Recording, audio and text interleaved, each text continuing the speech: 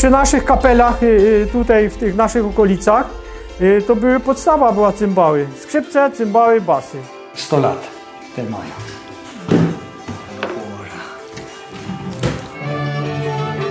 Jest to instrument bardzo ciekawy, trzeba powiedzieć, i to jest instrument e, żywy.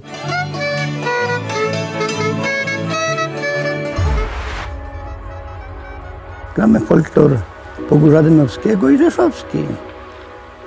Kto zasłyszał, gdzieś zapamiętał słowa, melodie i to wszystko kultywujemy.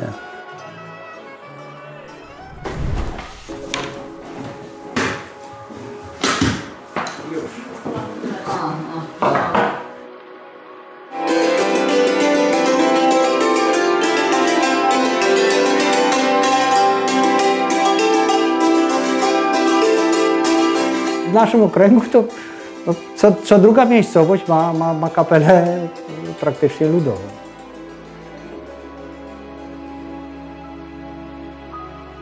Ten instrument żyje, ponieważ ktoś przekazuje tą naukę, te, te gry na cymbałach.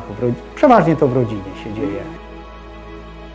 No później przekazałem synowi już od małego, pamiętam, jeszcze stał w łóżeczku, a już palcatki trzymał. Na środku y, jest dusza. Po jednej stronie tu jedna i tu jest druga. To takie jest tutaj nasze dziedzictwo, można powiedzieć, kulturowe, jednak podtrzymywanie tej, tej tradycji ludowej, granie właśnie w tych tradycyjnych stylach.